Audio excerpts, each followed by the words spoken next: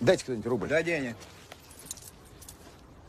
Допустим, приходит Михаил Васильевич Ломоносов и покупает у меня перчатку. За рубль. Я отдаю этот рубль Ларе, так как ему был должен. Правильно? Правильно. Правильно? Ну. Мы в расчете. Ларе отдает этот рубль Виктору, так как ему должен был. Они в расчете. Виктор отдает рубль мне.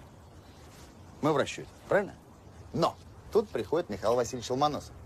Зачем мне одна перчатка? Действительно, зачем Михаил Васильевич Ломоносову перчатку? Он отдает мне перчатку, я ему возвращаю рубль. Я в перчатках. Михаил Васильевич Ломоносов с рублем, а мы никто никому не должен. Фокусник, да? Ловко, слушай. Я, правда, ни не понял, да? Ну ты это, давай, у тебя башка варит, да?